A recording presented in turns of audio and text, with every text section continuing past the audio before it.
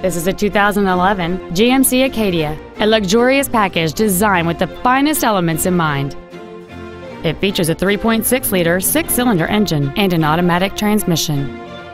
Its top features include heated seats, air conditioning with automatic climate control, a power rear liftgate, a premium sound system, a leather-wrapped steering wheel, performance tires, aluminum wheels, a low tire pressure indicator, cruise control, and an anti-theft protection system.